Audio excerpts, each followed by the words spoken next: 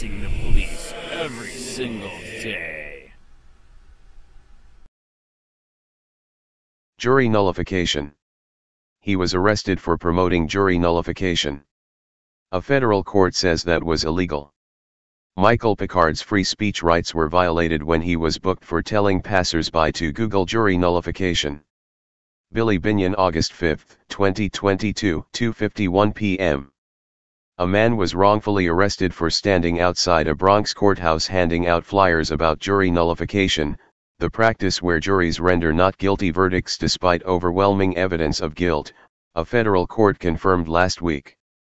Michael Picard, a civil libertarian activist, was taken into custody in late 2017 after police took issue with him passing out papers telling recipients to Google jury nullification, as law enforcement alleged he was in violation of a New York law barring people from standing within 200 feet of a courthouse calling for or demanding any specified action or determination by such court or jury in connection with an ongoing case.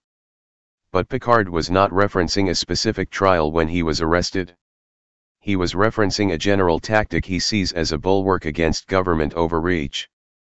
There are unjust laws, he says. This is a tool that a jury or a juror can use to express their disagreement with those laws.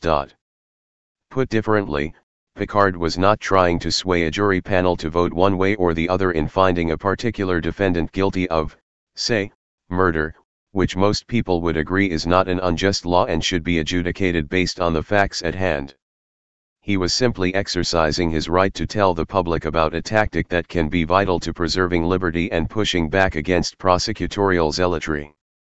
So, in arresting and booking him for promoting the general concept of jury nullification, the state violated the First Amendment, according to the U.S. Court of Appeals for the Second Circuit.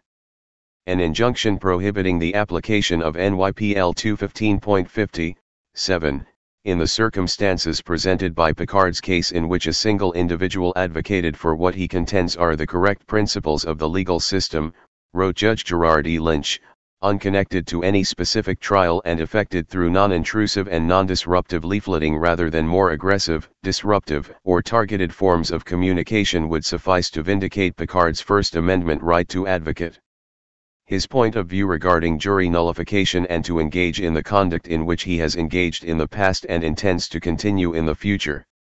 Jury nullification has been the subject of spirited debate among attorneys and legal scholars. One such brouhaha concluded in December 2019 after a federal judge was rebuked by a divided Second Circuit the same court which heard Picard's case for telling prosecutors and a group of defense attorneys that a particular case before him called for jury nullification.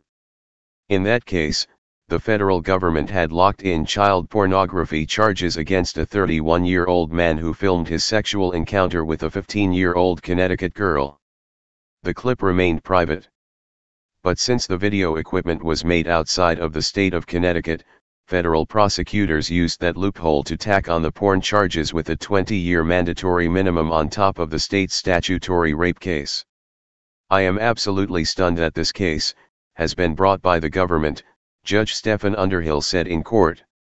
Core to the ruling concerning Picard's case, however, is that the New York law in question is not unconstitutional on its face a departure from the conclusion that the lower court arrived at. The state would clearly have a compelling interest, for example, in prohibiting protests outside a courthouse featuring amplified calls for the jurors to reach a particular verdict in an ongoing trial in that courthouse that are audible inside the courtroom, wrote Lynch. That may be fair enough. But a dissenting judge points out a rather obvious problem with the conclusion, what did this ruling actually rule on? What action exactly is constitutional now that previously wasn't? The majority's language leaves it unclear what constitutes Picard's conduct in this case. Is the conduct exactly what Picard was doing when arrested holding the same sign and distributing the same literature, or is it uttering any words or distributing any literature advocating jury nullification, or is it uttering any words or distributing any literature outside a courthouse, asks Judge Jon O. Newman. As for location, is the conduct standing exactly where Picard stood when arrested, or any location within 200 feet of the courthouse near which he was arrested, or any location within 200 feet of any courthouse in New York State. Picard says he'll be back to his advocacy now that the case has concluded, though it remains to be seen how the government will answer the above questions.